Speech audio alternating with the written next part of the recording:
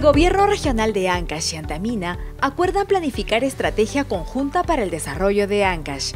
Este acuerdo se dio a conocer en la reunión realizada en la Cámara de Comercio y Turismo de Ancash, en la que participaron el gobernador regional, Coqui Noriega, y el presidente de Antamina, Víctor Govitz.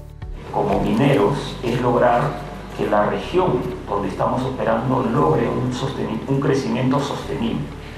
Y el crecimiento sostenible pasa por el desarrollo, sin duda, de la actividad minera, pero también de otras actividades económicas. Hay un potencial alrededor de, de muy grande y es un poco el tema central que quisiéramos hablar el día de hoy, ¿no? con usted y todo su cuerpo directivo, en trabajar juntos en construir un plan de desarrollo de la región Ancash. Ante esta forma de trabajo conjunto propuesta por Antamina, el gobernador regional expresó su compromiso para lograr acuerdos siempre a través del diálogo y para que las iniciativas y proyectos que Antamina gestiona actualmente no se detengan. En este camino ustedes van a tener también en el gobierno regional todo el apoyo, todas las áreas.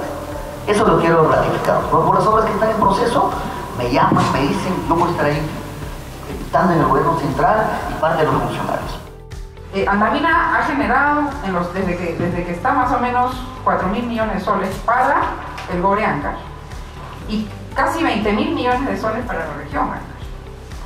En los próximos años, lo que vamos a tener son 2.200 millones de soles para el Gore y más casi 12 mil millones de soles para la región en la reunión, ambas personalidades mostraron su disposición de trabajar de manera conjunta y planificada para lograr el desarrollo de Ancash. El mejor camino es el diálogo y el progreso. De mi parte van a tener todo el compromiso. Señor presidente, le agradezco mucho